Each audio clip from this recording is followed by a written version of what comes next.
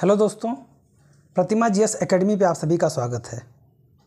दोस्तों, भारत के जो नदियाँ हैं, उस पर मैंने उत्तर भारत की नदियों के बारे में बता दिया था। जैसे सिंधु, गंगा और ब्रह्मपुत्र बेसिन के बारे में हम चर्चा कर चुके थे। आज हम चर्चा करेंगे प्रायद्वीपीय नदियों की और उनके बेसिन से संबंधित अपवाह तंत्र पर चर्चा करेंगे। आप लोग लाइक करें, शेयर करें और जिन दोस्तों ने अभी तक हमारे चैनल को सब्सक्राइब नहीं किया है, वो सब्सक्राइब कर लें। शुरू करते हैं। जैसे उत्तर भारत की जो नदियाँ थी, यानी हिमालयी नदियाँ जो थी, मैंने बताया था जो नदियाँ हैं भारत की,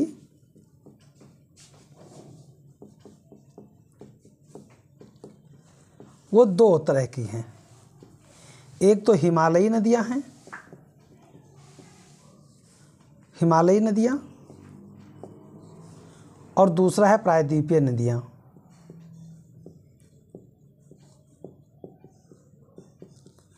तो हिमालयी नदियों में सिंधु नदी तंत्र, सिंधु तंत्र, गंगा तंत्र और ब्रह्मपुत्र तंत्र। जिस पे मैं चर्चा कर चुका हूँ। अब आज हम चर्चा करेंगे प्रायद्वीपीय नदियों का और इसमें से पहली नदी होगी गोदावरी। गोदावरी नदी तंत्र।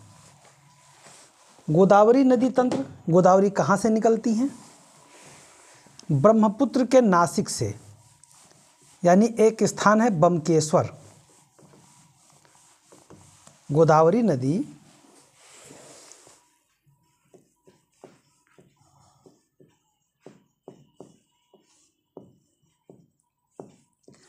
गोदावरी नदी का उद्गम होता है महाराष्ट्र से।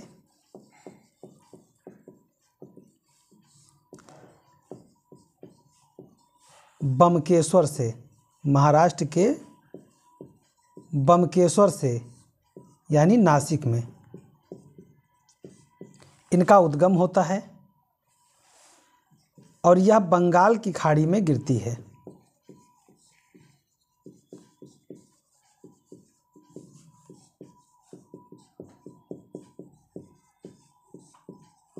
बंगाल की खाड़ी में गिरती है।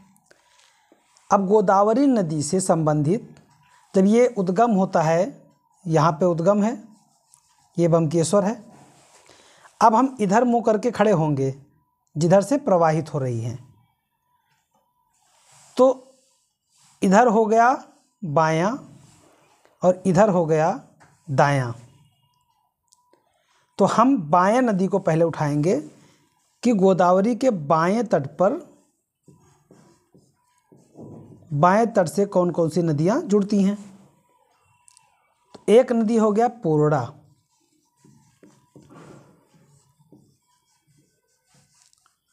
पोरड़ा नदी। और दूसरा हो गया प्राणहिता। अब प्राणहिता नदी, क्या शुरू से प्राणहिता है? नहीं। एक अजंता पहाड़ी है।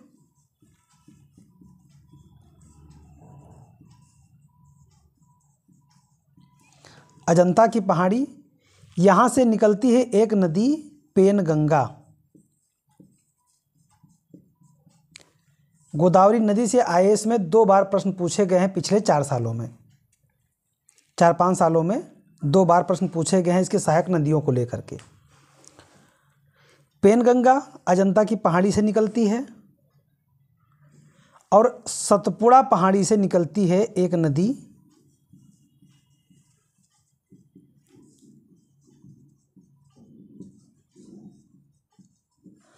एक नदी, उसका नाम है वर्धा। सतपुड़ा पहाड़ी से निकलती है वर्धा, अजंता की पहाड़ी से निकलती है पेनगंगा। और एक और नदी है, एक और नदी है काहना। काहना नदी और एक नदी है पेच नदी। ये चारों नदियाँ मिल करके, आगे बढ़ करके प्राणहिता के नाम से, प्राणहिता के नाम से गोदावरी में मिल जाती हैं। तो जो प्रा, प्राणहिता नदी है, ये कितने नदियों का संयोग है? ये चार नदियों का संयोग है। कौन कौन पेन, गंगा, वर्दा काहना और पेच प्राणहिता नदी चार नदियों के योग का परिणाम है। यानी पेनगंगा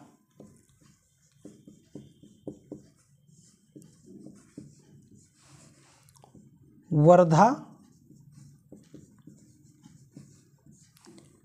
काहना और पेच। ये चारों नदियाँ मिल करके प्राणहिता का निर्माण करती हैं। जो गोदावरी की बाएँ तट से सहायक नदी है। अगला नदी है इंद्रावती।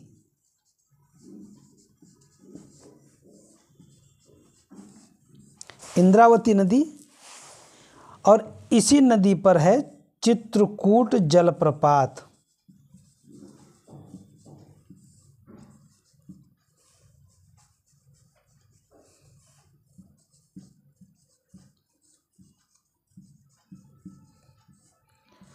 चित्रकूट जलप्रपात इंद्रावती नदी पर स्थित है। और दो नदी और है, सबरी नदी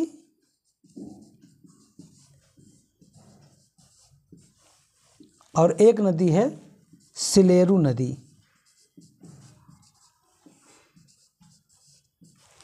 यानी एक, दो, तीन, चार, पाँच, पाँच प्रमुख नदियाँ और चार सहायक नदियाँ, यानी नौ नदी गोदावरी के बाएँ तट पर प्रवाहित होती है, जो गोदावरी में जा कर के मिल जाती है। तो अब यहाँ से देखेंगे तो पूर्णा नदी सबसे पहले है। उसके बाद में पेन गंगा पूर्णा नदी पेन गंगा वर्धा, काहना, पेच नदी। और ये चारों नदियाँ मिल करके प्राणहिता के नाम से गोदावरी में मिल जाती हैं। एक नदी है इंद्रावती। इंद्रावती नदी पर चित्रकूट जलप्रपात स्थित है। सॉरी इंद्रावती नदी पर चित्रकूट जलप्रपात स्थित है और उसके बाद में सबरी नदी और सिलेरू नदी। तो ये नदियाँ आपकी हो गई बाएँ तट की और इसे आप देखेंगे, महाराष्ट्र के बमकेश्वर से नासिक से निकलती हैं। बंगाल की खाड़ी में गिर जाती हैं। बाएँ तट से पूड़ा प्राणहिता इंद्रावती, सबरी, सलेरू, पेन, गंगा, वर्गा, कहना, पेच। तो ये आपके हो गए बाएँ तट के अब हम देखेंगे गोदावरी के दाएँ तट के सम्मिलित नदी, यानी दाएँ तट के सहायक नदी।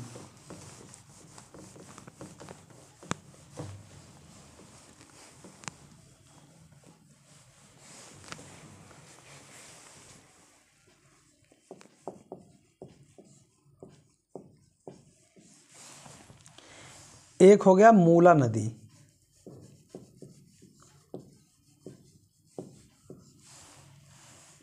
मंजरा नदी।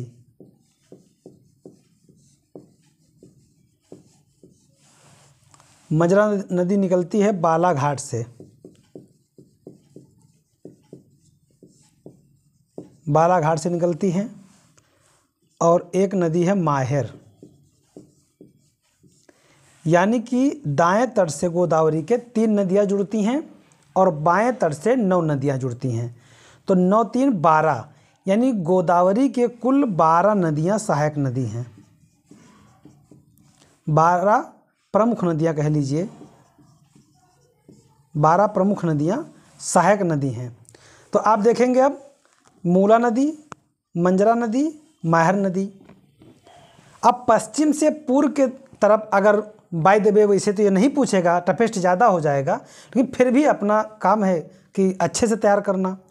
तो अगर पश्चिम से पूर्व की तरफ़ बढ़ते हुए सहायक नदियों का क्रम हो तो दाएँ तट पर पहले मूला नदी है, फिर मंजरा नदी है, फिर माहिर है, और बाएँ तट पर पूर्णा नदी है, फिर पेनगंगा है, बर्धा है कहना है, पेंच है, अर्थात प्राणहिता है। इंद्रावती है सबरी, सिलेरू। ओवरऑल देखा जाएगा तो पहले मूला है फिर पूर्णा है, उसके बाद मंजरा है, माहिर है। फिर प्राणहिता है, इंद्रावती और सबरी सिलेरू, और जा कर के बंगाल की खाड़ी में गिर जाती है। कृष्णा नदी। कृष्णा नदी महाबलेश्वर से निकलती हैं। कृष्णा नदी, इनका उद्गम जो है महाबलेश्वर से है और बंगाल की खाड़ी में गिर जाती हैं।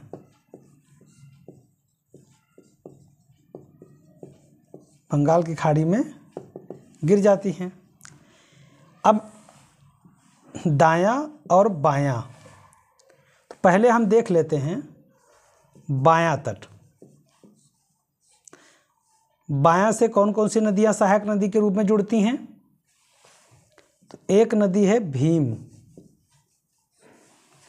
जिसे कहीं कहीं पे भीमा लिखा मिलता है। एक नदी है सेना,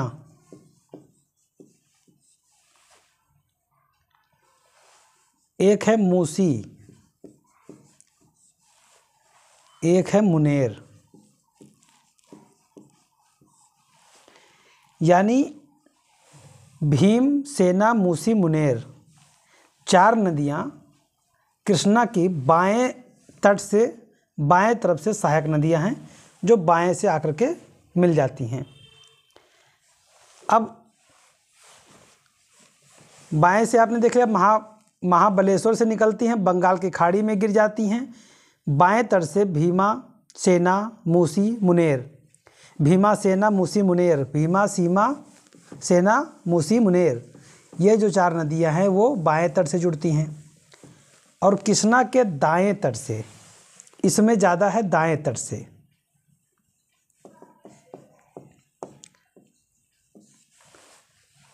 क्या कोयना नदी?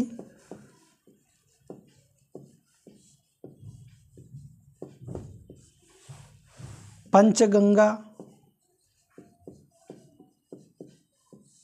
नदी, दूध गंगा, नदी, घाट प्रभा, नदी मालप्रभा नदी, उसके बाद में तुंगभद्रा तुंग भद्रा नदी। तुंग और भद्रा दो नदियों को मिला करके बनी है। अब यहाँ पे ध्यान रखें कि दाएँ तट से कोयना, पंचगंगा दूध गंगा घाट प्रभा माल प्रभा तुंगभद्रा है। अब यहाँ पे मैं दो नदियाँ लिखता हूँ जो आपके कन्फ्यूज़न को हटा देगा। एक हो गया आपका पंचगंगा दूध गंगा और बेन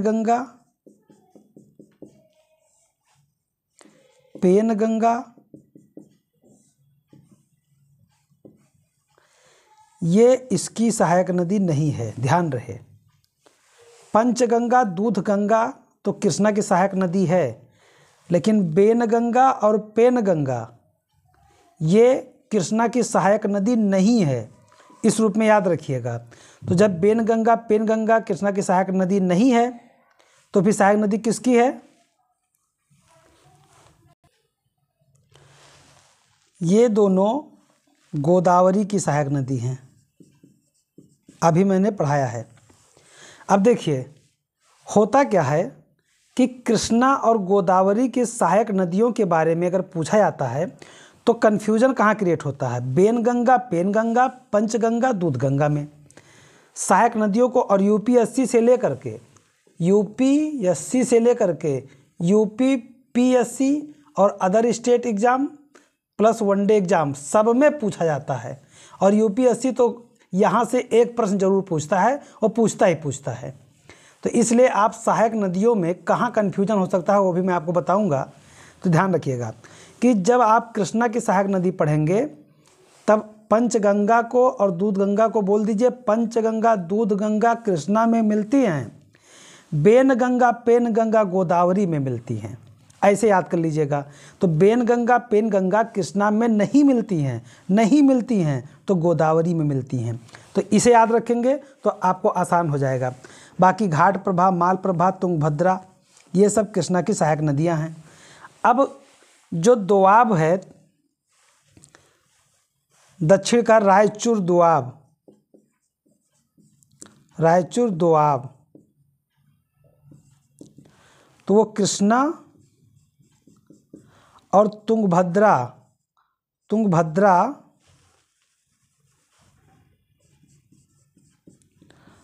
ये दोनों नदियों के बीच के भाग को रायचूर द्वाब कहा जाता है। इसके लिए बहुत युद्ध हो चुके हैं।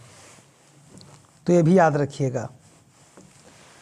तो यहाँ पे आपने देखा कि कृष्णा की जो नदियाँ हैं, वो बाएँ तट से भीम, सेना, मूसी, मुनेर भीम, सेना, मूसी, मुनेर और दाएँ तट से कोयना, पंचगंगा, दूधगंगा घाट प्रभा माल प्रभा तुंगभद्रा। यानी कितना आसानी से याद हो जाएगा।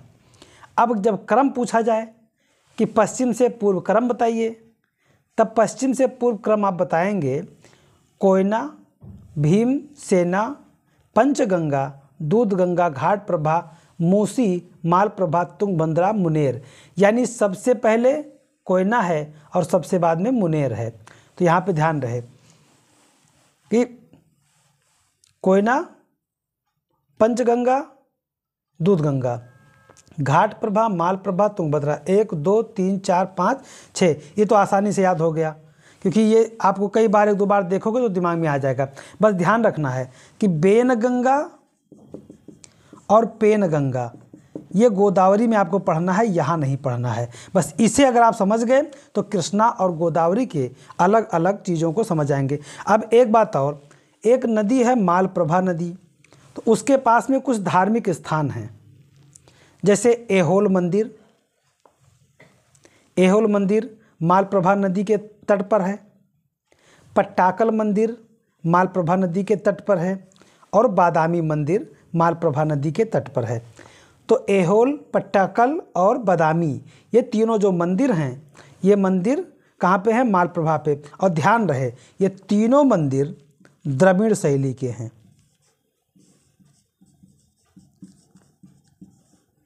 शैलियाँ तीन प्रकार की हैं, नागर, बेसर, द्रविड़। तो यहाँ पे जो कि मैं वो नहीं बताऊँगा, क्योंकि नदियाँ बता रहे तो नदियाँ समझिए, लेकिन ये तीनों मंदिर मालप्रभा नदी के तट पर स्थित हैं।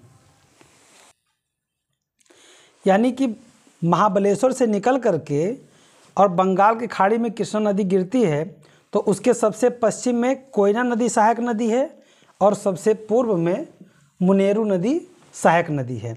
तो अगर पूरब से पूछा जाएगा, पहली बात ये पूछा ना जाएगा ये मैं इस लेवल पे बता रहा हूँ कि अगर आपका यहाँ पे लेवल तक पूछा जाए तो इस लेवल को आपको पता होना चाहिए। अगर यहाँ से तो ऊपर जाएँगे नहीं, क्योंकि ये पीक लेवल है और यहीं के आसपास रहते हैं तो इसलिए आपको थोड़ा सा आगे जानने की ज़रूरत है। कावेरी नदी। अब देखिए, कावेरी नदी ऐसी है कि दोनों मानसूनों को प्राप्त करती है। दोनों मानसूनों से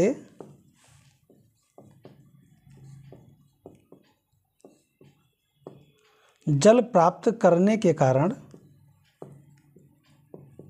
के कारण ये सदा नीरा नदी है। मतलब इसमें पानी हमेशा रहता है। तो क्या बाकी नदियाँ सूख जाती हैं? तो जो हिमालयी नदियाँ हैं,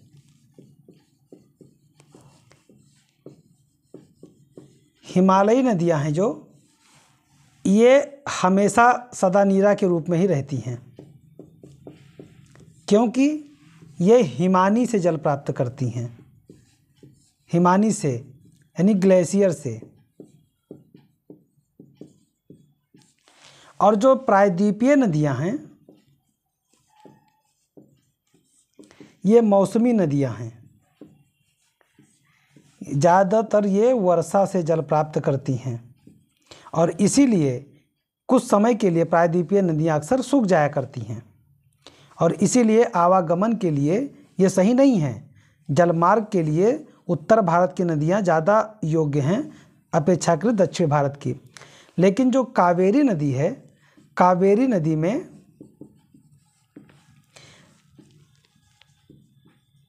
पश्चिमी मानसून और पूर्वी मानसून दोनों से जल प्राप्त होता है और इसीलिए सदा नीरा के रूप में बनी रहती हैं।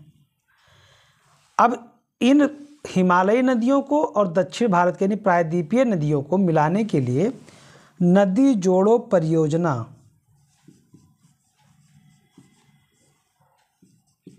चलाया जा रहा है। और इसे कहते हैं अमृत क्रांति।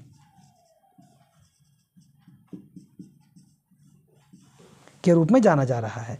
तो इन चीज़ों को ध्यान रखिएगा कावेरी नदी के बारे में। कि कावेरी नदी सदा नीरा नदी है, क्योंकि यह दोनों मानसूनों से जल प्राप्त करती है।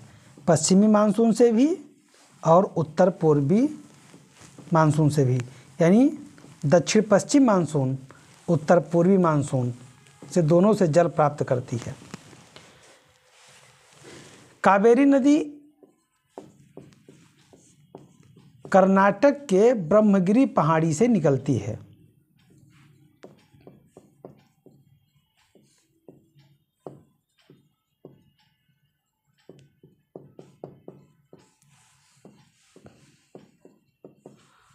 पहाड़ी से निकलती है।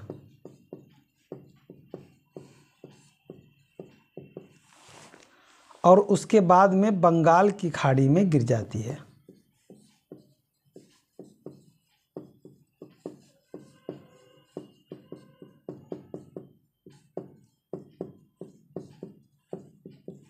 बंगाल की खाड़ी में गिर जाती है। अब ये तो हो गया आपका दायां भाग। और इधर हो गया आपका बायां भाग। तो पहले हम देख लेते हैं बाएँ भाग को। यानी बाएँ से कौन कौन सी नदी जुड़ती है? तो एक है हेरांगी।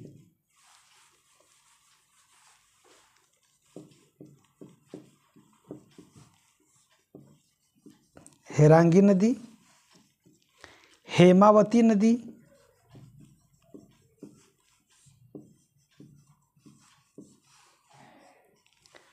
सिमसा नदी।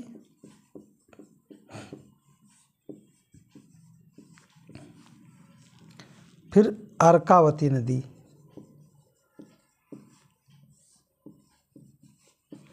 यानी ये चार नदियाँ कावेरी के बाएँ तट से जुड़ती हैं। और दाएँ तट से देख लेते हैं।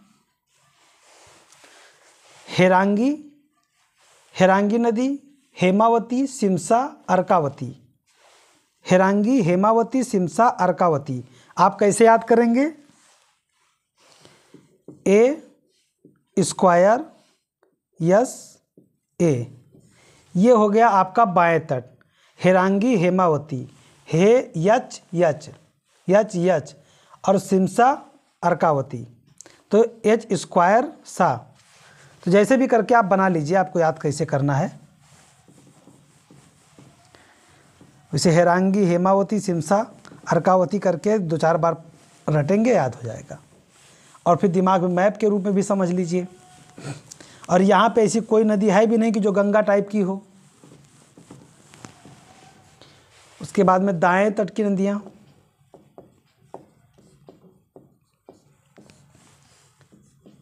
लक्ष्मण तीर्थ नदी। ये नदी इतनी पॉपुलर है कि कई बार एग्ज़ाम में पूछा जा चुका है।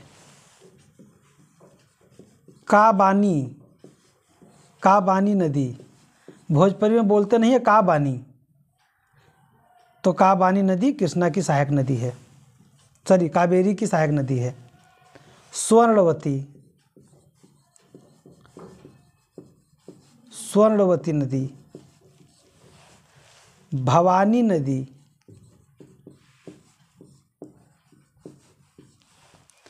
और अमरावती। अमरावती नदी। ध्यान रहे, ये जितनी धार्मिक चीज़ें हैं, वो आपको कावेरी में देखने को मिल जाएगी। कावेरी में लक्ष्मण तीर्थ, काबानी, स्वर्णवती, भवानी, अमरावती, जितनी देवी देवता हैं, वो सब आपको कावेरी में देखने को मिल रहे हैं सिवाय गंगा के। बेन गंगा पेन गंगा गोदावरी की हो जाएँगी और बाकी आपको देखने को मिलेगा कृष्णा में। तो अब देखेंगे आपकी पश्चिम से पूर्व की तरफ़। तो पश्चिम में पहला नदी है हेरांगी और उसके बाद पूर्व में अमरावती। तो बाएँ तट पर लक्ष्मण तीर्थ मंदिर, काबानी स्वर्णवती भवानी। लेकिन जब क्रम देखा जाएगा तो पहले हेरांगी फिर हेमावती, उसके बाद लक्ष्मण तीर्थ, फिर सिमसा, फिर काबानी, फिर अर्कावती, फिर स्वर्णवती, फिर भवानी और अमरावती। और जा करके बंगाल की खाड़ी में गिर जाती है। तो कितने? एक, दो, तीन, चार, पाँच छः सात, आठ, नौ। आपको नौ नदी सहायक के रूप में प्लस कावेरी। यानी कावेरी के सहायक के रूप में नौ नदी को याद रखना है। नर्मदा नदी। अब देखिए, अभी तक मैंने जो नदियाँ बताया, वो बंगाल की खाड़ी में गिर रही थी। बंगाल की खाड़ी में। लेकिन अब जो बताने जा रहे हैं, नर्मदा नर्मदा नदी और ताप्ती नदी। ये दोनों कहाँ गिरेंगी? अरब सागर में। यानी खंभात की खाड़ी में गिरेंगी। तो ध्यान रहे, नर्मदा, ताप्ती, माही, लूनी लूनी तो कच्छ केरल में विलीन हो जाती है। अभी मैं बताने वाला हूँ। और माही ये अरब सागर में गिरती है, लेकिन कर्क रेखा इसे दो बार विभाजित करती है, यानी पार करती है। तो ध्यान रहे कि अरब सागर में गिरने वाली नदियों के कुछ चुने हुए नदियाँ हैं, उनका आपको पता होना चाहिए नाम। यानी अब हम उठाते हैं नर्मदा नदी।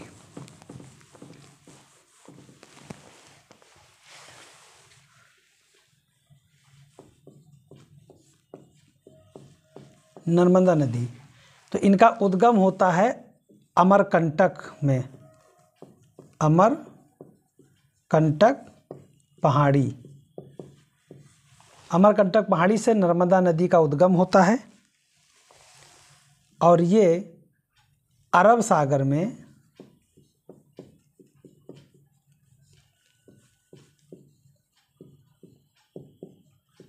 खंभात की खाड़ी में जाकर के गिरती हैं। नर्मदा नदी पे पाँच डैम बने हुए, पाँच बाँध बने हुए हैं।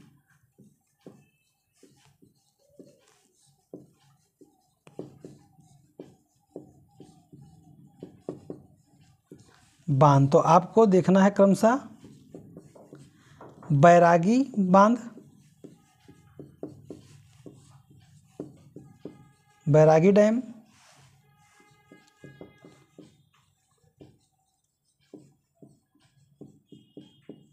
इंदिरा सागर बाँध।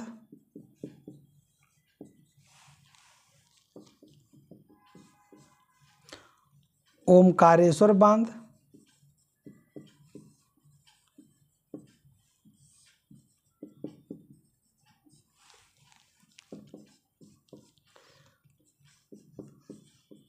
जोरबत बाँध।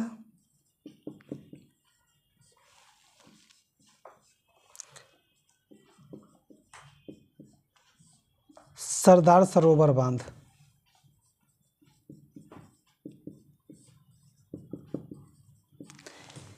यानी नर्मदा नदी पे पाँच बाँध आपको देखने को मिलेंगे।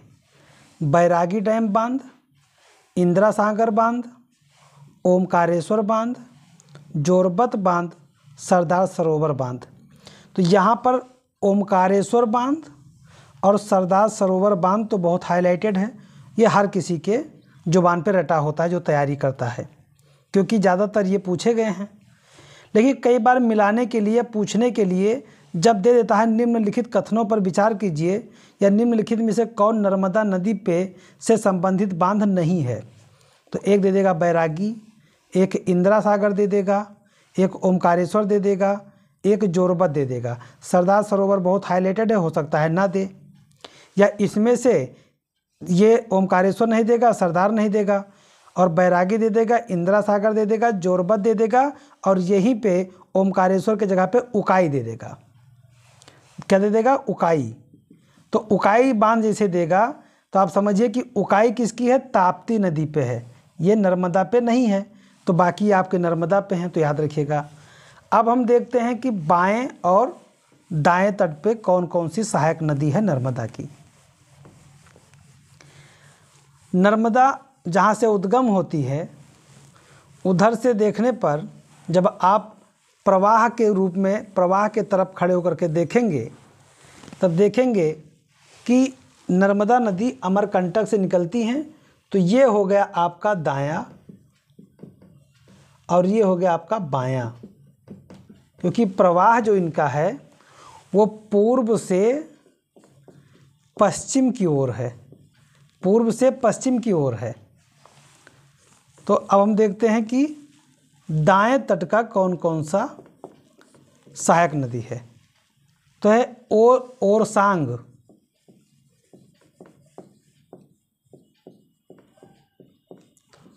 ओरसांग नदी। बरना नदी। या बरना नदी। दोनों में से कोई भी मिल सकता है आपको देखने को। कोलार नदी। और हिरण नदी। एक बार पीसीएस में पूछा गया है कि हिरण नदी किसकी सहायक नदी है? तो ये ध्यान रहे कि हिरण नदी नर्मदा की सहायक नदी है। और अब पूछा जाएगा तो आप लोग आराम से कर दीजिएगा। दाएँ तट से हो गया ओरसांग नदी, बरना नदी, कोलार नदी, हिरण नदी। और वही देख लेते हैं हम बाएँ तट से। बाएँ तट से कौन कौन सी सहायक नदी है? तो बाएँ तट से है भ्रूनेर नदी।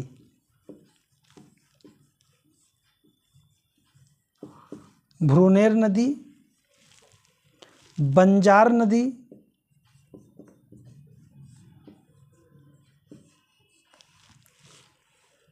छोटा तवा नदी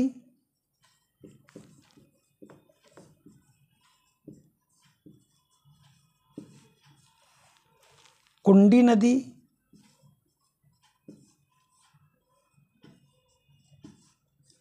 गई नदी यानी ये पाँच नदियाँ बाएँ तट से आती हैं। यानी पाँच और चार बराबर नौ नदी। ये नौ नदी नर्मदा की सहायक नदी हैं। तो ओरसांग नदी, बरना, कोलार, हिरण। तो बरना आसानी से याद हो गया होगा, हिरण याद हो गया होगा। और अब क्या कीजिए, कोलार को ओरसांग से जोड़ दीजिए। उसके बाद में इसमें छोटा तवा और कुंडी नदी, आपको आसानी से याद हो गया होगा। लेकिन गई बंजार गई बंजार भ्रूनेर नदी, गई बंजार भ्रूनेर नदी छोटा तवा कुंडी के साथ, जैसे भी याद कर पाओ। भ्रूनेर बंजर छोटा कुंडी के साथ गई। याद कर लीजिए, नौ नदियाँ आपकी हो गई, सहायक नदी नर्मदा की। और सांग बरना भ्रूनई, बंजार छोटा तवा, कुंडी, गई, ये सब नर्मदा की सहायक नदी हैं। यानी आपने देखा कि नर्मदा जो है, अमरकंटक से निकलती है और खम्बात के खाड़ी में गिर जाती है। इतना आपने अभी तक देख, सुना था।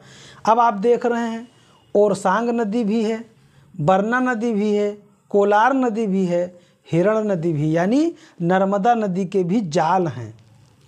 और ये आरी नुमा ध्यान रहे कि एक नदियाँ अभी मैं बताऊँगा कि कौन सी, एक होता है कि आरी नुमा आकृति। एक है वृक्ष नुमा आकृति। तो नर्मदा नदी आरी, देखिए ऐसे आरी बनाने तो काटने के लिए, ये आरी नुमा है। और जो गंगा है, ये वृक्ष नुमा है, वृक्ष नुमा। क्योंकि ऐसे है, ऐसे शाखा ऐसे शाखा ऐसे शाखा, और एक जल में गिर जाती है।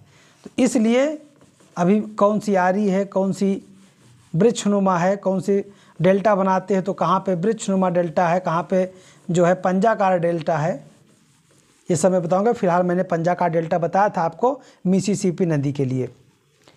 वही बाएँ तट पे भ्रूनेर नदी, बंजार नदी, छोटा तवा नदी, कुंडी नदी और गई नदी, नर्मदा की सहायक नदी हैं। अब हम देख लेते हैं ताप्ती नदी।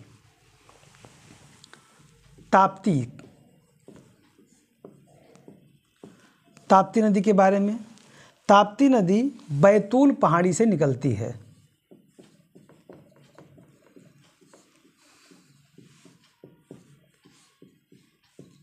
बैतूल पहाड़ी से निकलती है और ये भी अरब सागर में गिर जाती है।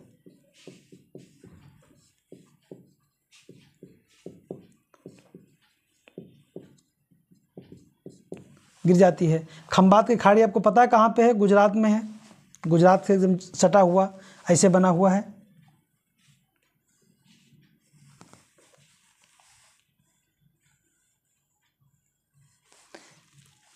ये जो क्षेत्र है, ये पॉइंट जो है, यही खम्भात की खाड़ी है। नर्मदा और ताप्ती यहाँ की गिरती है और ये अरब सागर है।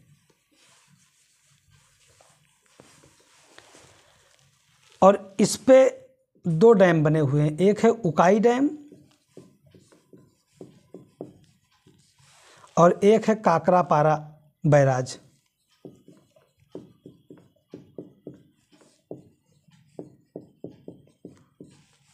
उकाई डैम और काकरापारा बैराज, ये दो जो है ताप्ती नदी पर आपको देखने को मिलेंगे।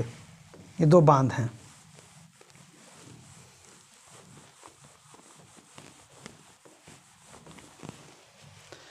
अब इसके, अभी निकलती है यहाँ से, बैतूल पहाड़ी से तो ये हो गया आपका इधर मुकर के खड़े होंगे तो ये हो गया आपका दायां, और ये हो गया आपका बायां।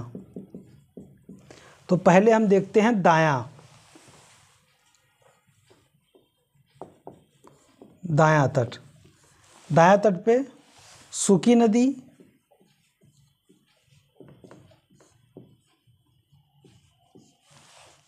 अनेर नदी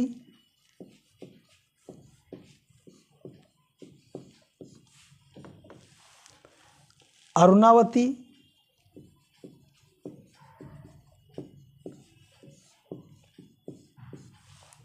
और गोमई नदी।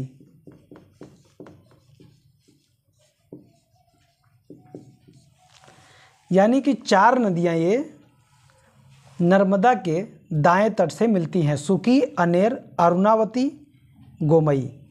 अब बाएँ तट से देख लेते हैं। बाएँ तट से तो बाएँ तट से है पूर्णा, नालगंगा, पूर्णा नदी,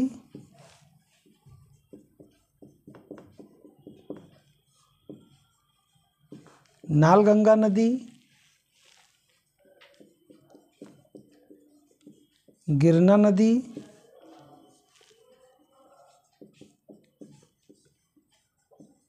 बारी नदी, पंजरा नदी और अमरावती नदी। ध्यान रहे, अभी अमरावती नदी आपने देखा था, ये कावेरी की भी सहायक नदी है। लेकिन ये वही नदी नहीं है। अमरावती के नाम से एक नदी ये है जो ताप्ती की सहायक नदी है और एक नदी और है जो कावेरी की सहायक नदी है। तो अमरावती के नाम से भारत में दो नदियाँ हैं। जैसे टोंस की दो नदियाँ हैं, कि यमुना की भी है और गंगा की भी है। ऐसे अमरावती भी है। तो ये आपके छः नदी बाएँ तट से है और चार नदी दाएँ तट से। यानी दोनों मिला करके छः चार, दस बराबर दस किसके? ताप्ती की सहायक नदी हैं। दस नदी ताप्ती की सहायक नदी हैं। तो याद कैसे करेंगे? सूखी अनेर, अरुणावती, गोमई। सूखी, अनेर, अरुणावती गोमई पूर्णा, नालगंगा, गिरना, बारी, पंजरा, अमरावती। ऐसे दो चार बार इसे लिख करके देखिएगा और याद हो जाएगा। तो अब देखेंगे कि ये बहती है, ये भी पूर्व से पश्चिम की तरफ़ बहती हैं। पूर्व से पश्चिम की तरफ़ बहती हैं। तो पूर्व से पश्चिम देखेंगे तो सबसे पूर्व में कौन है? पूर्णा है और सबसे पश्चिम में है गोमई तो पूर्णा है, फिर नाल गंगा फिर सुकी, गिरना, अनेर, बारी, पंजरा, अरुणावती, अमरावती और फिर गोमई। और अंत में आके खम्बात की खाड़ी में गिर जाती हैं। उकाई डैम और काकापारा बैराज, ये दोनों आपके ताप्ती के हैं। और वहीं पे बैरागी डैम, इंदिरा सागर, ओमकारेश्वर, जोरबत, सरदार सरोवर। ये पाँच बाँध आपके नर्मदा नदी के हैं। यानी अरब सागर में गिरने वाली अन्य महत्वपूर्ण नदियाँ कौन कौन सी हैं? देखिए, मैंने नर्मदा बताया।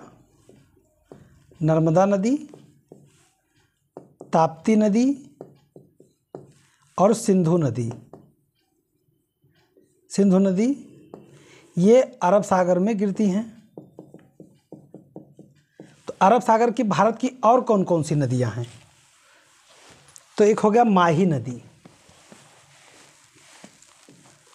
माही नदी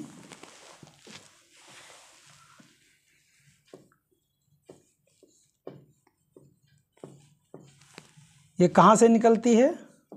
ये निकलती है विंध्यन श्रेणी से।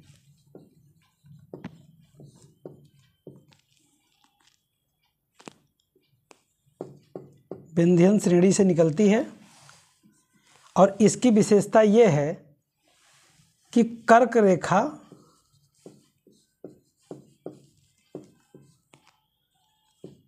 इसको दो बार पार करती है। ये कैसे? ये भी मैं बताता हूँ। और गिरती कहाँ पे है? अरब सागर में। अरब सागर में यानी खम्बात की खाड़ी में। खम्बात की खाड़ी में गिरती है। भारत में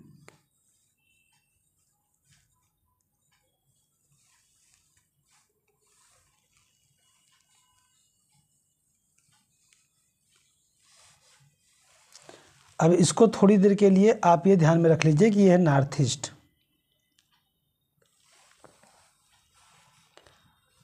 भारत समझ लीजिए।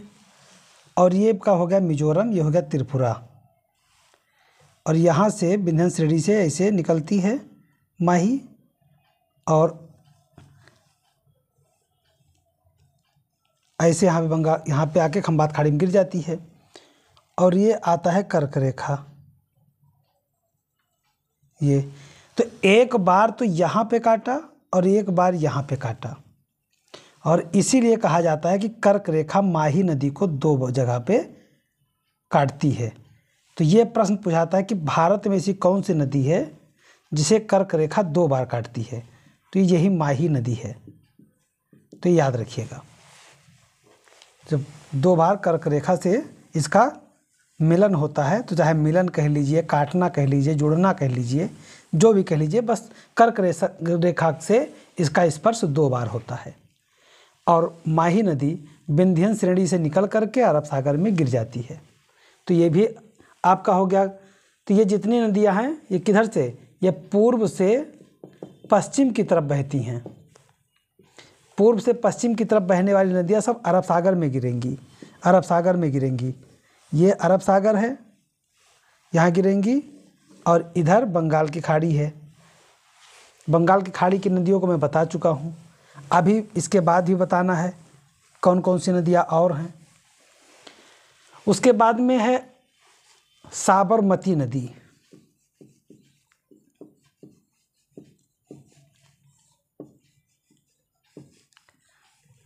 साबरमती नदी, ये अरावली रेंज से निकलती है।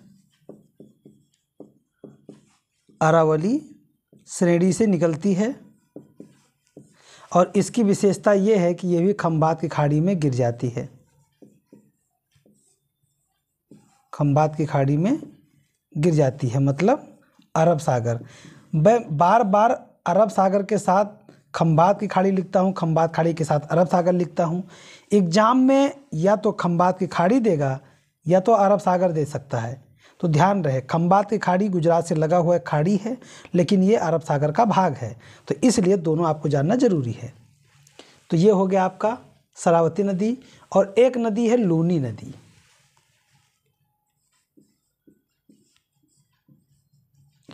लूनी नदी तो ये भी ये निकलती तो है अरावली श्रेणी से। लेकिन एकमात्र ऐसी नदी है कि जो किसी सागर में ही नहीं गिरती है। ये गुजरात के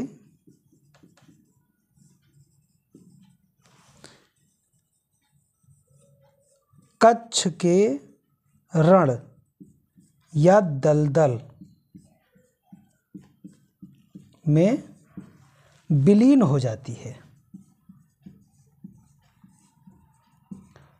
हो जाती है बहते बहते गायब हो जाती है।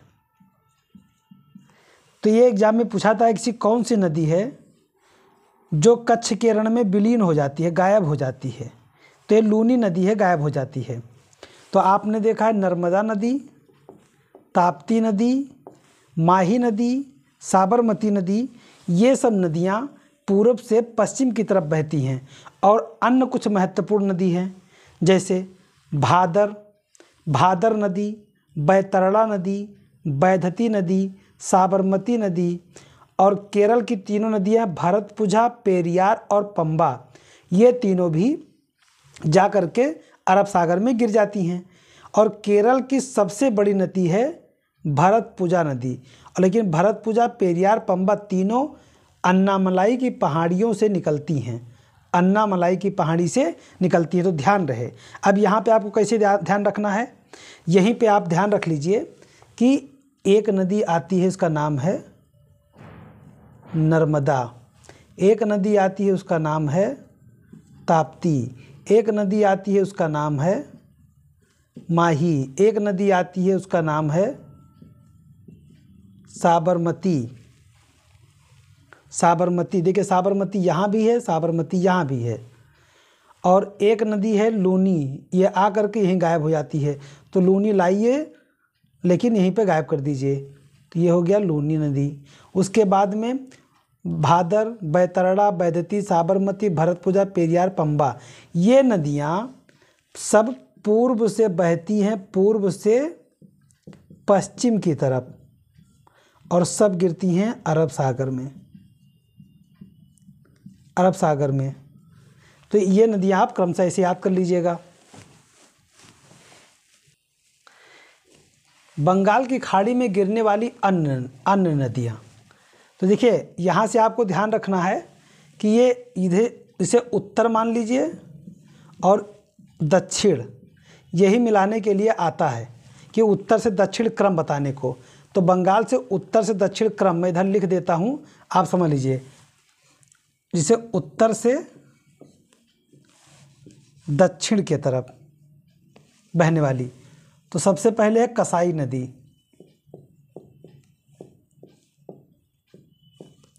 कसाई नदी, फिर है स्वर्ण रेखा। पाँच छह नदियाँ दे देगा, फिर मिलाने को देगा कि निम्नलिखित पे कौन सा उत्तर से दक्षिण है या दक्षिण से उत्तर है। उसके बाद में बैतरणी। स्वर्णरेखा नदी बैतरणी नदी ब्राह्मणी नदी ब्रह्मणी नदी महानदी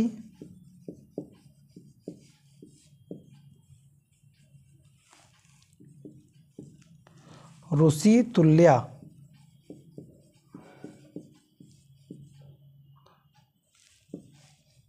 ऋषि तुल्या या ऋषिकुल्या ऋषितुल्या ऋषिकुल्या ये दोनों नदी नाम कहीं भी मिलेगा तो ये समझ आएगा कि ये महानदी के बाद वाली एक नदी है। उसके बाद है वंशधारा। उसके बाद है पेन्नूर। पलार। पेन्नूर नदी, पलार नदी, और फिर है बैगई नदी। बह गई नदी। अब ध्यान रहे कि सबसे दक्षिण में तमिलनाडु में बैगई नदी बहती है और कसाई नदी पश्चिम बंगाल में बहती है। और ये क्रमशः उत्तर से दक्षिण है। ये कहाँ पे गिर रही हैं सारी की सारी नदियाँ? ये सारी की सारी नदियाँ गिर रही हैं आपके बंगाल की खाड़ी में। बंगाल की खाड़ी में सभी नदियाँ गिर रही हैं।